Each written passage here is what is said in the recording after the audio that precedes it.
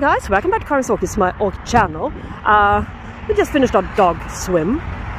Yeah, and uh, unfortunately, the snow's gone. So I feel that I really need to sing this little tune. What hides in snow comes up in though. Bling, bling, little birdie finds an old breadcrumb. Yeah, it really looks like the city dump here. Look at all the stuff and garbage people have been dumping here. Yeah. It's a secondary uh, city dump, in my opinion. Yeah, the huge trailers uh, usually park here and just dump stuff. Um, so there's a lot to be cleaned and sorted out here in this area, really.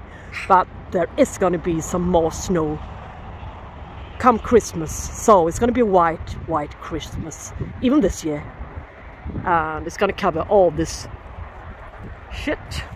I've been sorting out a lot of my orchids, uh, looking, uh, looking for some pests and other kinds of stuff going on, if there still is any.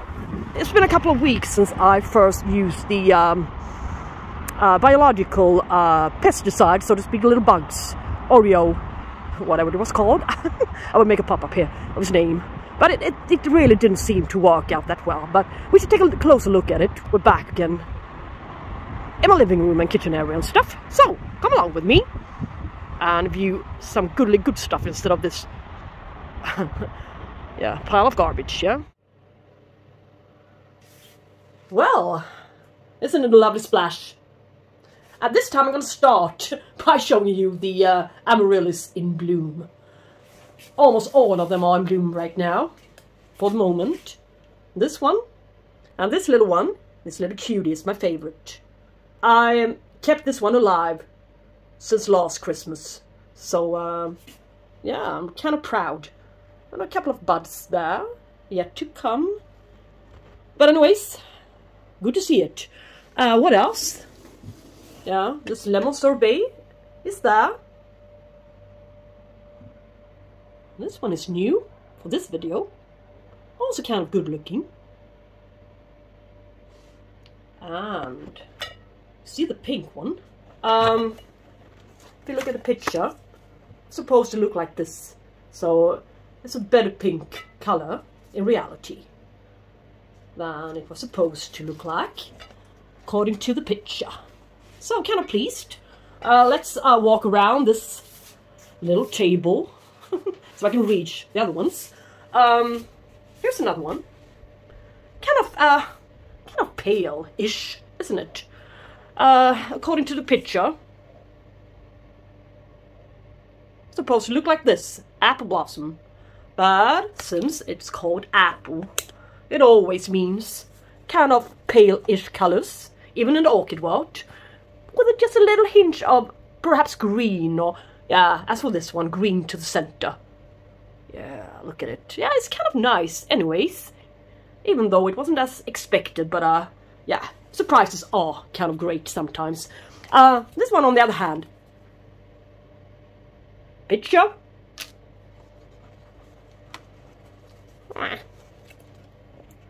Flower. Yeah kind of similar. So um, I like it. I like all of them. I still have a few left to open up, so for you to see. But that was a short update on the amaryllis. but look at the colours. What a splash, isn't it? It makes me happy every time I look at it. Or shall we say every time I open my front door. this is the very first sight for my eyes, so... Ah, and this gorgeous little Cymbidium Wild Pink is of course still out. Would it be strange if it wasn't? Uh, kind of recent purchase, as you know, if you watch my previous video. Anyways, uh, I'm up to loads of stuff today. As I said earlier, at the city dump, second city dump, as I said earlier, at the um, secondary city dump, um, I've been cleaning off all of my orchids let me give you a little ride here. Here's my bathroom, bathtub. Yeah, wrinkle readers, wrinkle Rhynchostylis, Vandacostylis, and Angraecums. They all got showered today and really, really well flushed as well. Loads of them, most part of them, are sitting in simply um, charcoal. It's getting kind of dry for them, especially now during the winter month when it's kind of dry and hot inside. But uh, but not for this one, the Angraecum um, Eye. It's in semi-hydro and it likes it in there, really does. It's not getting dry, so um, I wish I could keep these guys in semi-hydro as well, but yeah, yeah, yeah, wishful thinking, won't work. And a few Cattleyas, of course. Which has been uh, an, an epidendrum, yay, and Stamfordianum, never to forget that one. Um, you see, uh, why I did it, um, I planted, shall we say, the little bug, the little biological uh, pest treatment, Orius uh, little bug or whatever it was called, um, amongst my plants in order for them to eat the eggs and the mature animals of the exotic thrips, which has caused loads of damage, especially to this one. My beautiful, uh, my pride and joy, so to speak, Epidendrum stamfordianum. Well, yeah, normally it should be in bloom by now, with loads of cascading uh, racemes arching over. Yeah, what's this? It's his new, one of its newest uh, canes. Not growing well. Should be up here. And spiking. But, yeah, here's the other one, the second one, down there. It's also been attacked by, sorry, um, it's also been attacked. it's also been attacked by thrips and other nasty creatures. Look at this leaf. Thrip damage. Yeah. News leaf down there. Thrip damage. So no wonder, and with the cooler temperatures, I refused to switch on my heating elements uh, first of all, I thought it was a little bit too hot in here, so I switched them off uh, altogether. And I, well, I kept them switched off. I liked it. Uh, then I uh, come to think of the fact that some of my orchids may need a drop in temperature for a certain amount of time throughout the year, so I just figured why not? Could be good for them. But for some warm growers, the cool time was a little bit too extended, I think that would have made do with about simply one week. Would have been enough, yeah. Anyways, uh, let's proceed. Yeah, I've been moving stuff around and, yeah, Vandas should be as close to the window as possible, of course, getting the best light source. Yeah, looks like this in here. For you who haven't already seen it, what my growing area looks like. Um, but what disappointed me was the fact that this orchid, the one called Burrageara or Aliceara Nelliila, the one that I promised you guys that I would succeed in growing this time around. Yeah, look at its newest growth. Soft and mushy leaf to the center. That's not all, yeah? The horror movie doesn't end there. Look, thrips. Yeah, where did that come from? With the Orius bug here, lurking and all. So I don't think uh, it really works that great. Or maybe I should have planned out twice the amount of the bugs than I did. I used bugs suitable for 10 square meters, so maybe it wasn't enough. But uh, I don't believe in it anymore. Uh, I tried it out and only spread, so too bad, really. So I've been through and I have gone over all of my orchids. Flushed and watered and sprayed them with a natural uh, treatment. So I used this one for all of my orchids, uh, almost all of them. I left the dendrobiums behind, since they are allergic to being sprayed by any kind of pesticide, so avoid the dendrobiums. Really, really my uh, good advice coming from me. Yeah, I don't keep that many dendrobiums since it always seems to get or catch thrips, and on top of it all, never blooms for me, since I haven't got the right temperatures. So, uh, well, anyways, this is the one I used, Spidermite SMC Control. But it works for uh, other stuff as well. Leaf wash and shine makes the leaves look shiny and, and glossy. Uh, natural insect eliminator. Yeah, and it's uh, this one will last quite a bit. Uh, only this little cork is eight milliliter, is eight milliliters for half a liter of water. Yeah, and that one lasted for half of my collection, so which means quite a lot of orchids. So, ah yeah, that's a great little thingy. But anyways, today I'm cleaning up my orchids and rearranging and trying to uh, yeah, put them into better positions, uh, move stuff about, and uh, I also will uh, take care of an orchid, which has been annoying me for quite a while. Yeah, but that will be another uh, later on in this video. As I said, Vanica Stylis Plampit Blue needs to be cleaned. It dumped uh, loads of its, um, shall we say, most part of its uh, oldest roots. Um, the Vanica Stylis seems to be a bit finicky. Yeah, uh, I'm just going to compare it to its cousin, Vandacostylis Ploenpit Price. Yellowish one. Yeah, it's not doing bad, but uh, as you can see, it's sitting in charcoal simply charcoal, and as you can see here. Losing bottom leaves isn't the greatest of ideas. It indicates that something is going on with it, something faulty. So, um, well, I'm not gonna fuss about with it and remove it and do anything else with it. I'm just gonna leave it be and perhaps water him a little bit more frequently than I've been doing this far. But uh, it's kind of dry to keep up with it.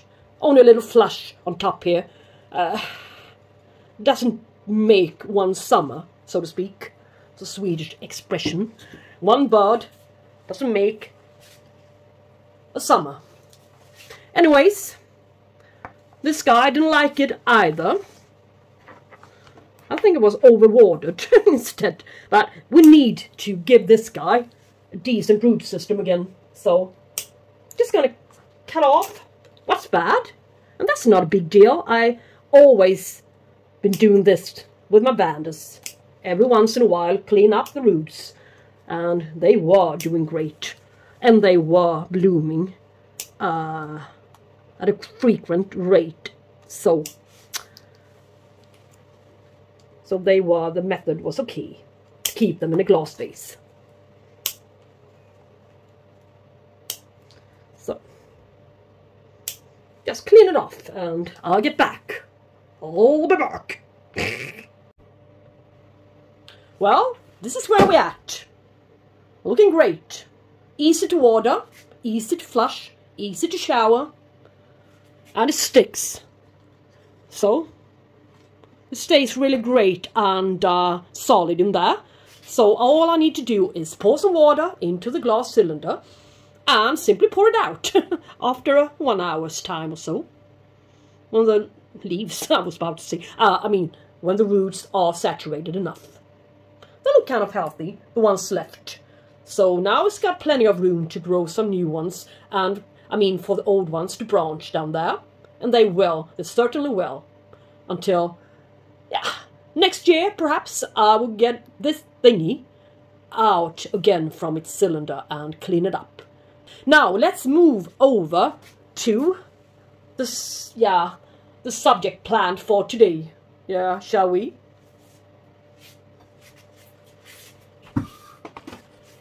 So, guys, mounting time.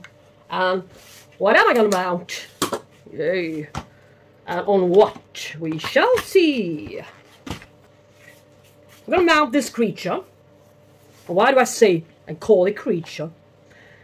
The Epidendrum parkinsonianum from Cargill corgi. I had it for, um, yeah, one and a half, no, yeah, about one and a half years now.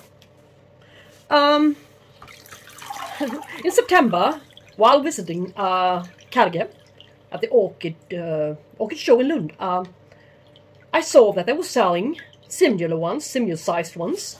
Let's see if you can see how big it actually is. Mm -mm. Yeah, it's only durable uh, without flashlight. So here, yeah, it's getting good size now.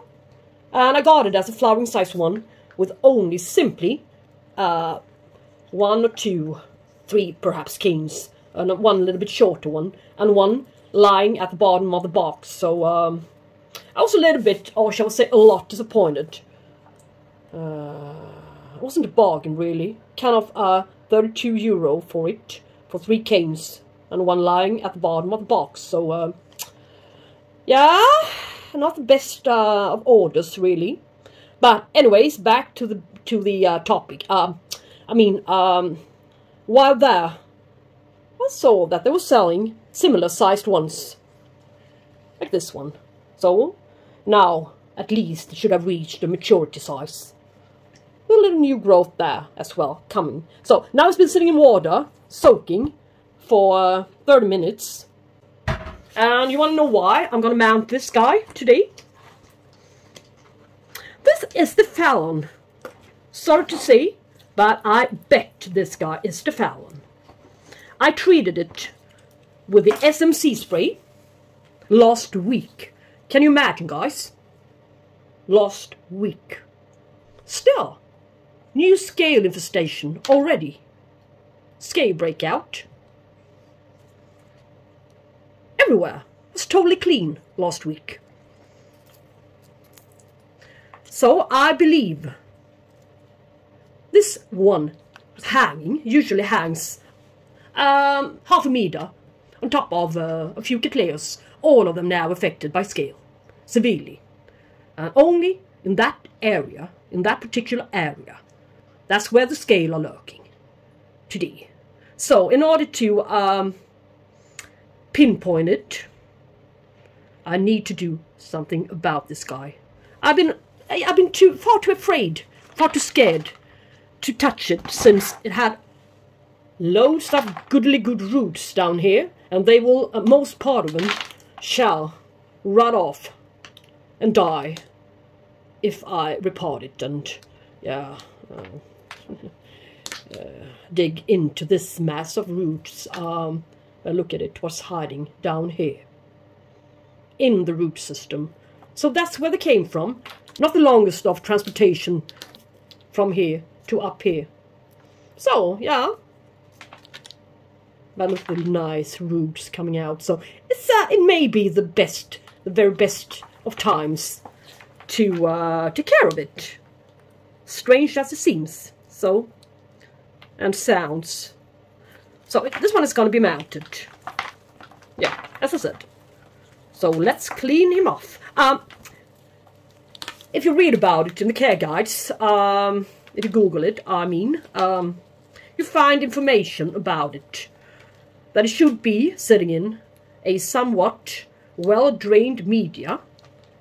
And it, it also um, suggests sphagnum moss, which is the main part of this medium it's sitting in. It's a good kind of sphagnum moss, really. Good strands. So it makes it a little bit fluffy better than if I would have uh, used my poor quality sphagnum moss, I believe. But it also keeps loads of unwanted stuff.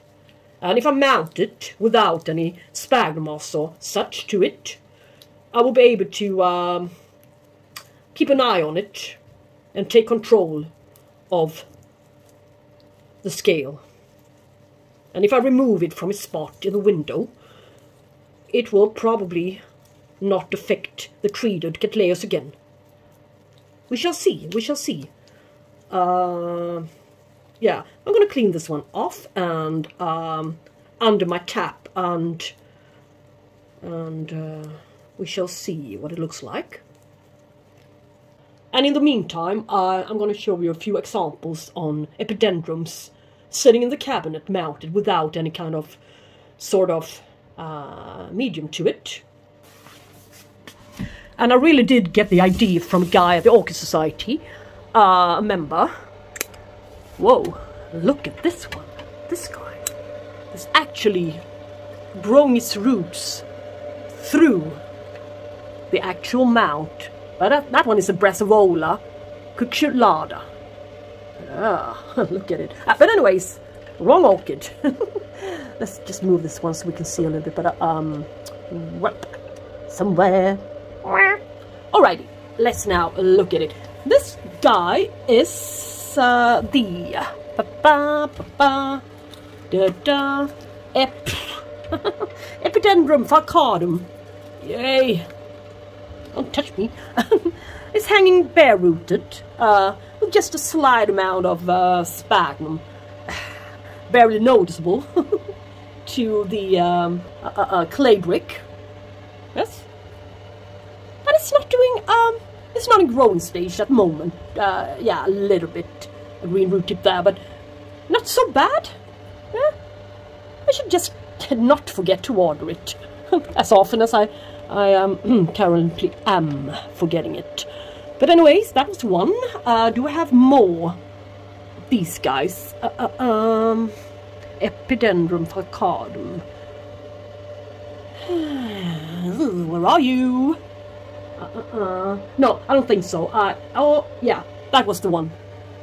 Uh, but I do keep Brassavola uh, nodosa, I think. Yeah, it's nodosa, and it's really in great growing stage, according to its roots here. Look. So, anyways, that one had loads of sphagnums on top of it, so yeah, never mind. That one is growing great without uh, any particular amount of moss, so uh, almost bare-rooted. But that's gonna be great. Yay. Ah! I moved. I don't know if that was wise or not, but I did move the uh, uh, little guy, Epidendrum uh, nocturnum miniatum, into this cabinet since it was getting far too dry in the living room. So now it's finally developing a bud correctly. It was all drying out, so I just, uh, yeah, just tried this out, but uh, I'm not so sure. We just, well, we shall see about this guy. Doesn't look all that great. But we shall see. We shall see what to do with it. Anyways, uh, stepped aside from the topic again. But, yeah, you see my point. I think it's gonna do great in here. Mounted. Parkinsonianums lives in a tropical environment, tropical climate, uh, in a rainforest, needs about 75 to 80% humidity, and it's an epiphyte, so which means that it can uh, gather uh, humidity and water through the air into the roots. So they don't really need any kind of medium if provided good amount of humidity and uh, and and dew and such.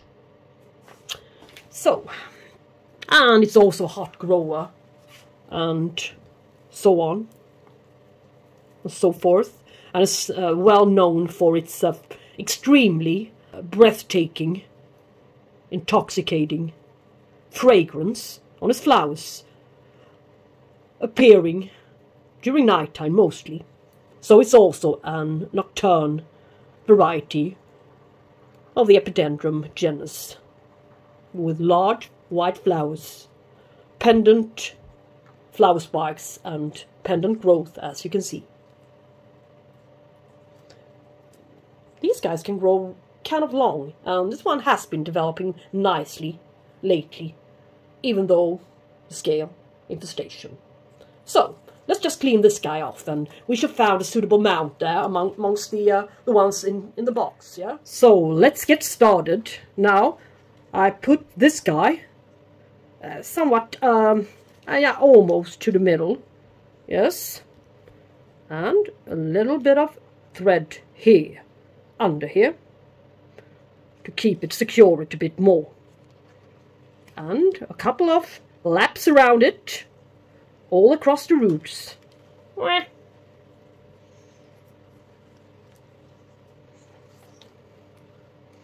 Over the roots to secure it. Yeah.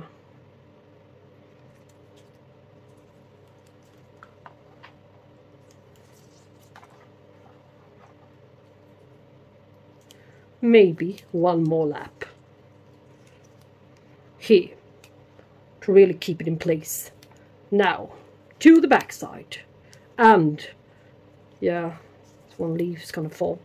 Doesn't matter. Loads of new leaves are coming. Alright, now, see to that this guy makes it pleased. Mm. yeah? Since I need to lean it towards something in order not to crack this little guy. Yes. Yeah, it works. Uh, kind of. Uh, I'm not pressing it to the tree. Yeah. Now I'm going to tie it. And after that I'm going to seal it. Uh, where is it? Uh, thread is barely noticeable to the eye. Uh, need to have good eyesight, which I haven't anymore. Do I need to seal it? Yeah, a little bit, yeah. It's, um, scares me to see how fragile its leaves, uh, leaf joints really are. I mean, they may easily break and drop, so maybe wasn't so surprising that we found the, the leaf at the bottom of the box after all. Fragile as they are. But I bet it's the uh, oldest leaves which are dropping off. So, some room left here. Most part of the room is for the roots. Now this one needs to uh, acclimatize and adjust. Again, in the cabinet. But I think the cabinet's uh, conditions will be ideal for it. A lot better than in the dry-ish room temperature. Or maybe it will take loads of time for it to adapt and recover after this treatment. But we shall see. It remains to be seen, as I say. Um, a guy at my Orchid Society, he, uh, he's keeping his uh, Parkinsonianum inside the cabinet and works fine. And it blooms on a regular basis for him, so yeah, I think that's the deal, so. Well, guys, um, I think that I like you. Oh, uh, yeah. Start up conversations with me, and yeah, and most of all, thanks for being here and supporting this little channel up north. Yeah, and if you don't talk before Christmas. Um, I wish you happy holidays, but I do hope and believe that I will post before Christmas. Yeah? We shall see. A little something, at least. Alright. Take care, guys. I love you. Bye-bye.